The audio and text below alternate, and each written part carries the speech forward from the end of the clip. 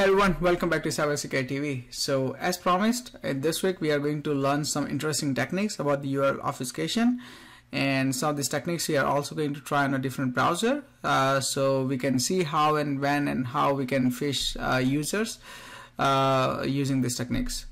So uh, first off, like if you see this first URL, right, https google.com, this seems like a valid URL and, and we are used to seeing this, uh, that's what I meant.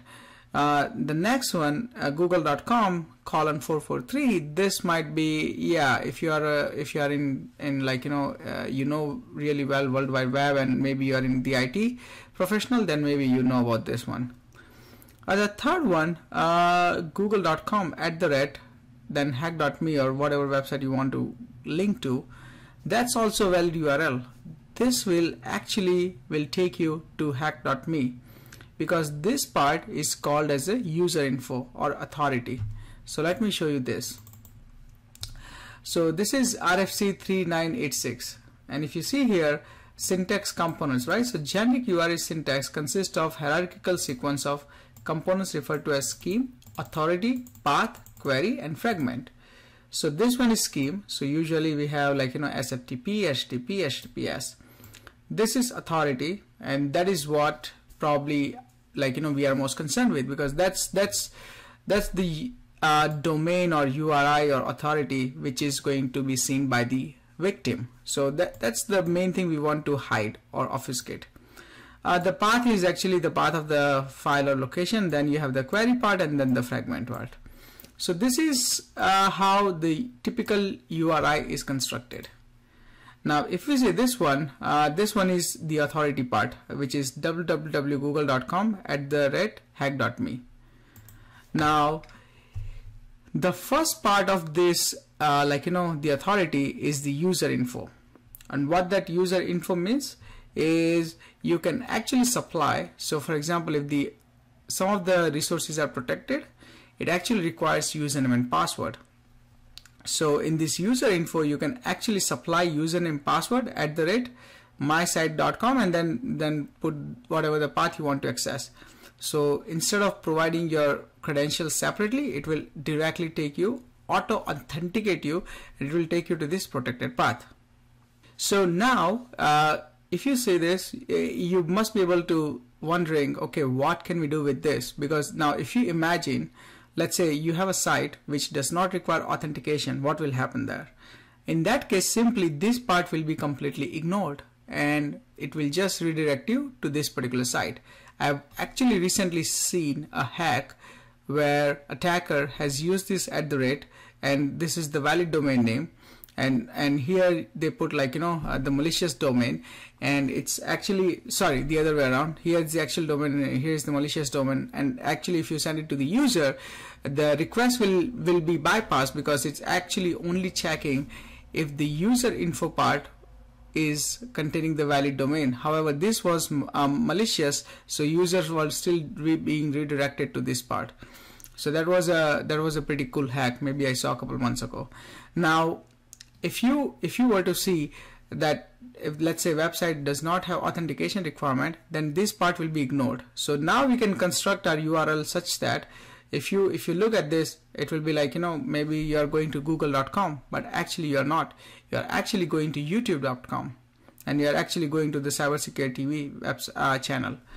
So that's one way uh, like you know to play around with this URI this one uh, might also seem like you know very funny to you but this is actually will take you to the youtube.com so what are we using here? This is simply a unicode. So you can actually convert this into unicode put it here and then you can actually put whatever unicode you want right to make it more uh, look look funny or maybe look more more uh, authentic.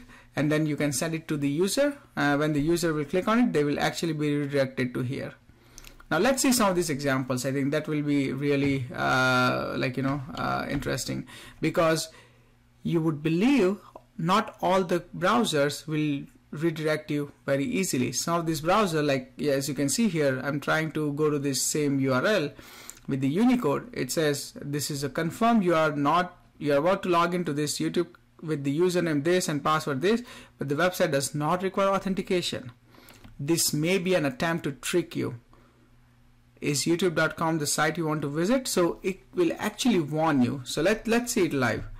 So let's try first on the chrome browser. So as you can see I have my URL as this but then at the rate it's youtube.com and if I hit enter we are actually going to the YouTube site which is our cybersecurity TV now let's try same thing on the Firefox so you can see Firefox is giving, giving us the warning that do you still want to visit the site or not. Now this is my Edge, uh, Microsoft Edge. So let's try same thing on Edge and see if it gives us a warning or not. Maybe it's not. Yeah, it's actually redirecting us to the cybersecurity TV. And let's try the same thing in the IE browser so here we can see I cannot interpret this and it's just gonna say Windows cannot find this path. Check the spelling and try again. So we notice that it's working on Chrome which is most of uh, the people nowadays are using so it's easier for us to fish anyone using that particular browser. Now let's see the next technique now, if you see this, so I'm not actually, uh, you would think at first glance this is the IP address of Google and maybe that's why we are redirected. Your answer is yes and no. So this is the IP address, but this is not our usual IP address. So the technique we have seen so far, it's kind of an old school, right? Um, probably you must have used it many, many times. And that's kind of an old school techniques. Now, as you might know, all the URI first translated into the IP address before we can actually get the page or the resource from the from our ISP. Now ISP, uh, what what they do is actually they fetch the resource from the server using the IP address, and IP address is is like you know a dotted decimal. Now instead of dotted decimal, what we can use, do is we can also convert into hexadecimal, octal. Uh, we can also do like double word it's called dword which is kind of like you know 16 bit uh, translation of the IP address. And then we can use that to actually use some of these uh, websites. So let me show you real quick how is that done. So I'm using this particular site called IP address converter. And if you go here and say convert my IP address you can see here uh, this is the dword.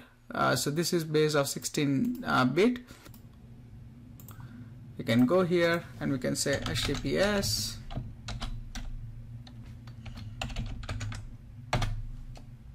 and as you can see now we have been redirected to the google.com now same thing you can also do with octal. So let's try this.